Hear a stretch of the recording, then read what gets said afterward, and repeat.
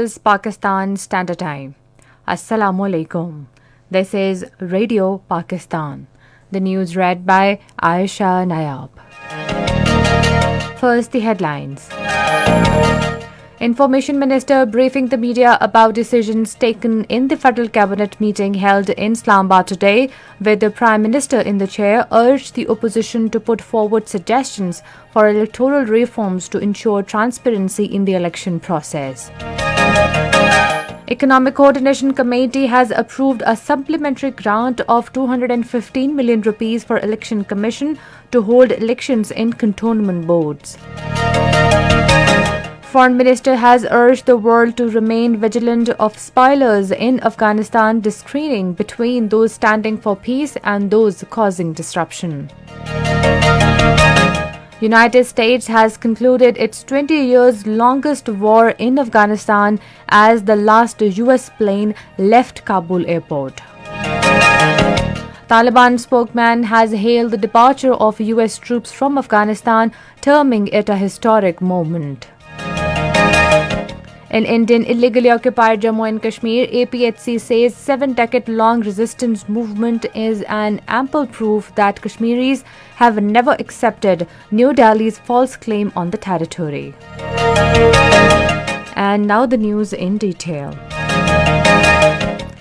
Minister for Information and Broadcasting Chaudhry Fawad Hussain has urged the opposition to put forward their suggestions for electoral reforms to ensure transparency in the election process. He was briefing media in Islamabad this afternoon about the decisions taken in the federal cabinet, which met in Islamabad today with Prime Minister Imran Khan in the chair. The minister said the government will give due consideration to opposition's proposals on electoral reforms to ensure credible elections in the country. He said the government is taking special measures to facilitate overseas Pakistanis. He said the cabinet was informed that 16,272 Pakistani citizens detained in various countries on trivial charges have been brought back to Pakistan as a result of sternest efforts of the government. Fawad Chaudhry said Islamabad is also engaging Moscow for enhancing bilateral cooperation in the energy sector, especially for the laying of a gas pipeline from Russia to Pakistan. He said this project will open up new vistas of economic development for both the countries. Chaudhry Fawad Hussain said the cabinet was informed that efforts are being made to bring Pakistan out of UK's red list.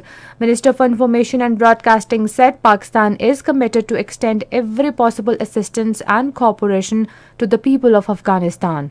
He said Pakistan International Airlines is the only air service in the world which carried medical aid to Mazar Sharif to help the Afghan brethren. He said, We are extending maximum cooperation for the evacuation of foreigners from Afghanistan and so far facilitated withdrawal of 10,302 foreigners. President Dr. Arif Alvi has called for adopting artificial intelligence to cope with the challenges of changed global dynamics. Addressing a conference on artificial intelligence in Islamabad today, he said Pakistan has to prepare a generation well equipped with the knowledge of artificial intelligence and cybersecurity to become a strong nation. The Economic Coordination Committee has approved a summary of aviation division for provision of funds to meet emergent liabilities of the Roosevelt Hotel Corporation. The meeting, chaired by the Finance Minister Shaukat directed to exercise due diligence in meeting emergent liabilities and submit utilization report. The committee also directed to engage a world-class cons- consultant to meet the financial and operational challenges faced by Roosevelt.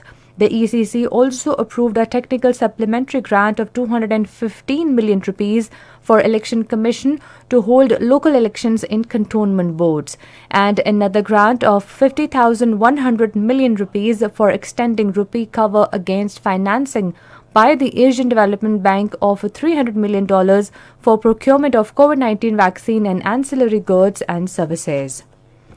This is Radio Pakistan. Foreign Minister Shah Mahmood Qureshi has urged the world community to stay engaged with Afghanistan for peace and stability there. Addressing a joint news conference with his German counterpart Heiko Maas after delegation level talks in Islamabad today, he said humanitarian assistance must flow in and economic collapse of Afghanistan must be averted. The foreign minister warned against repeating mistakes of the past, saying that abandoning Afghanistan is not an option as it will have serious consequences. Shah Mahmood Qureshi said the world should remain vigilant of spoilers in Afghanistan, to screening between those standing for peace and the spoilers. He said recent statements made by the Taliban are encouraging and positive. However, they will have to act on the pronouncements and respect the human rights international norms. The German foreign minister speaking on the occasion expressed his gratitude to Pakistan for playing a significant role in evacuation of foreign nationals including Germans from Kabul. He said Germany is closely coordinating with Pakistan on Afghan issue as well as bilateral relations. Taliban say they have taken control of the Kabul airport following withdrawal of the US troops from Afghanistan. Talking to media at Kabul International Airport, Taliban spokesman Zabihullah Mujahid hailed the departure of US troops as a historic moment, declaring that country has now gained full independence. He said the Islamic Emirate of uh, Afghanistan is a free and sovereign nation now and the Americans failed to achieve their goal through military operations. Earlier, the United States completed withdrawal of its forces from Afghanistan, ending the 20 years invasion. In press briefing in Washington, U.S. Secretary of State Antony Blinken said the United States has suspended its diplomatic presence in Kabul and transferred its operations to Doha. The United States has concluded its longest 20 year war in Afghanistan as the last US plane left the Kabul airport. Addressing a press conference at the Pentagon, the head of US Central Command, General Kenneth F. McKenzie Jr., formally announced the completion of US withdrawal from Afghanistan. He told the press that the last two officials were General Christopher Donahue and acting American Ambassador Ross Wilson. He said although the military evacuation is complete, Yet the diplomatic mission to extract remaining Americans and eligible Afghans who want to leave continues. In Indian illegally occupied Jammu and Kashmir, all parties Hurriyat conference has said that a seven decade long struggle against India's illegal occupation proves that Kashmiris have never accepted Indians' false claim on the territory.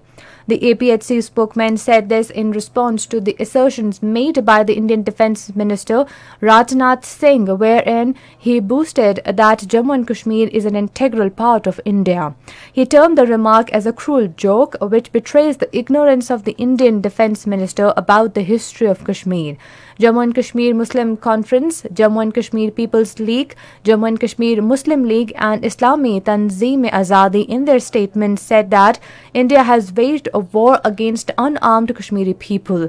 They said that Indian troops were committing war crimes against innocent Kashmiris. Meanwhile, posters continue to appear in the occupied territory urging people to forge greater unity to get rid of India's brutal occupation. The recent death of a prisoner reportedly from police torture in Tihar jail has raised the alarm bells for the safety of Hurriyat detainees lodged in the jail. The United States and Japan have agreed for joint efforts under a climate partnership to decarbonize the world. During a meeting with Japanese Prime Minister Yoshihide Suga in Tokyo today, the U.S. climate envoy John Kerry underlined the need of solid measures to curb carbon emissions and flight climate change. He warned the world of threat of climate change and urged to control rising temperature on the planet. On the occasion, Japan premier vowed to reduce carbon emission as high as 50% in line with the European Union. In Estonia, Mr. Alar Karis has been elected country's new president today. Being the sole candidate in presidential election, he won, he won the second round of voting in the parliament. The incumbent president, Kersti Kaljulaid, was not supported by the government centre party and the Reform Party. And finally, the weather. Rain, wind, thunder shower with isolated heavy falls is expected in Kashmir, Khyber Pakhtunkhwa, Islamabad, Punjab, Gilgit-Baltistan, northeast Balochistan and Sindh during the next 12 hours. Hot and humid weather is likely to prevail elsewhere in the country. And that is the end of the news. For more news and analysis, log on to our website radio.gov.pk and also watch live video streaming of our bulletin on the link facebook.com forward slash Radio Pakistan News Official.